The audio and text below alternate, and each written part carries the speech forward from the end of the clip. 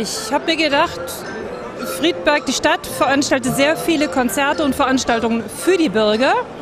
Aber ich wollte diesen umgekehrten Weg gehen, dass die Bürger für Friedberg etwas machen. Und da hatte ich halt die verrückte Idee, ein großes Konzert zu veranstalten und so viele Bürger wie möglich zusammenzukriegen.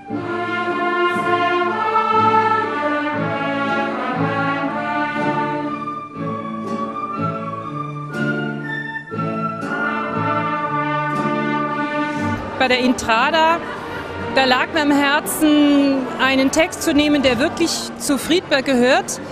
Diesen, dieser Text ist ein Minilied in drei Strophen von dem Konradin, der Friedberg mitbegründet hat. Und so auf die Art und Weise hat der Text und diese mittelalterliche Musik und Tonalität ähm, einen ganz direkten Bezug zur Ursprung von Friedberg.